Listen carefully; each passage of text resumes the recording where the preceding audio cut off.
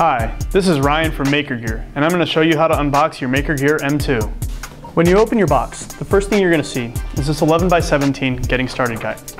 Today we're going to cover step one, which is getting your printer out of the box. First, remove the central block of foam by pulling straight up. This is the extruder. Move it to the center, carefully. It should slide easily.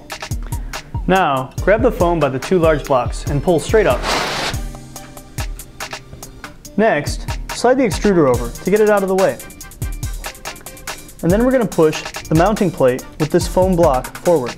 You'll have to push the foam block from behind. At this point, the foam block is ready to come out. Now, slide the mounting plate back to its central position. This rectangular piece is called the Heated Build Platform, or HBP. We're going to carefully pull it out of its slot and slide it onto the mounting plate.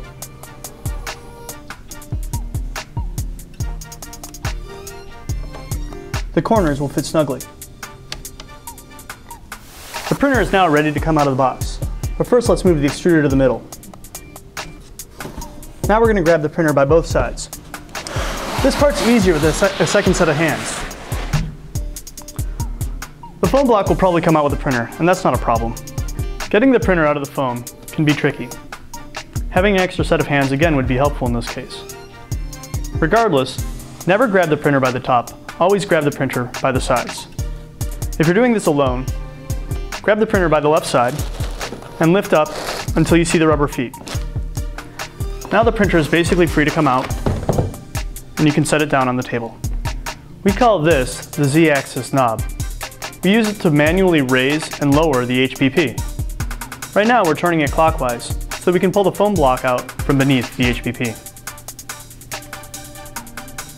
This is your borosilicate glass build plate. It has a golden film on it. This golden film is a polyimide material and your printer will print directly onto this film. I'm lowering the bed right now so that I can remove the stop sheet beneath it. Please open and read this document as it contains important information. And now you're ready to move on to step two of your Getting Started guide. And as always, please read your user manual as it contains a wealth of useful information.